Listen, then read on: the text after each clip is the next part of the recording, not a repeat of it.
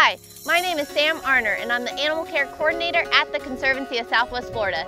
Today is an exciting day because we're about to release Nin, our ambassador loggerhead sea turtle.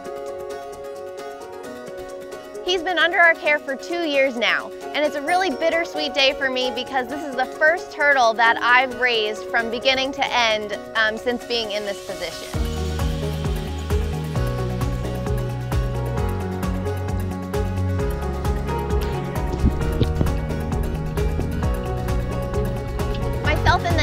Care team wish him the best, and we want to thank you guys for following his journey and thank you for all your support.